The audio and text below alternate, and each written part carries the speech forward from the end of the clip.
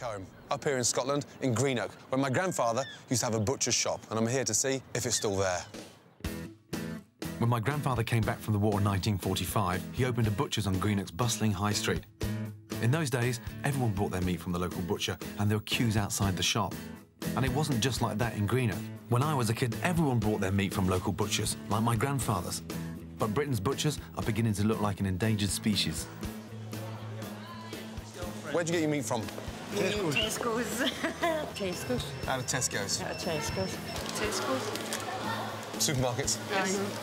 And what's wrong with your butchers? We've got one. I found it. Now, according to these photographs, this is where my grandfather's butcher shop used to be, and it's actually a sort of health food shop now, which is quite sad in a way, because all I remember from him in the early days is just how long and how hard he used to work. Your dad's granddad's shop was just there. That's right, yes, used to be, that's right, yes, That's right. Monroe's.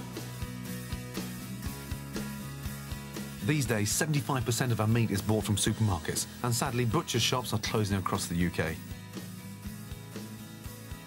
And it's not just the lack of customers that threatens our high street butchers, they're also struggling to find people who want to work in them. Ever thought about becoming a butcher?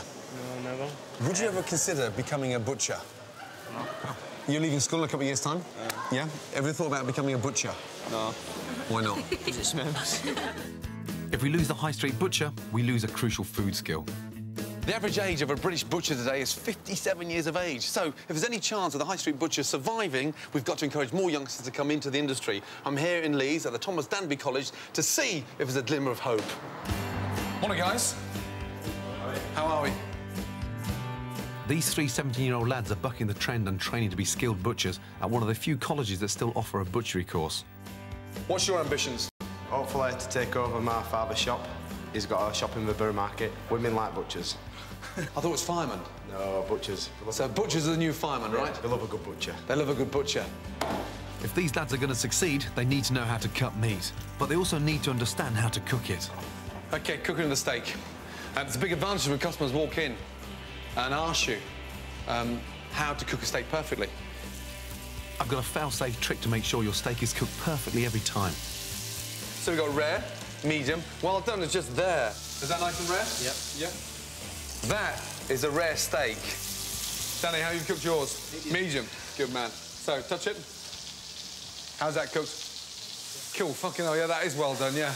Looks like a pair of Dr. Martens. and you cooked this for your girlfriend two weeks ago. Yeah, yeah, And she's still with you? yeah. Is she still chewing as well?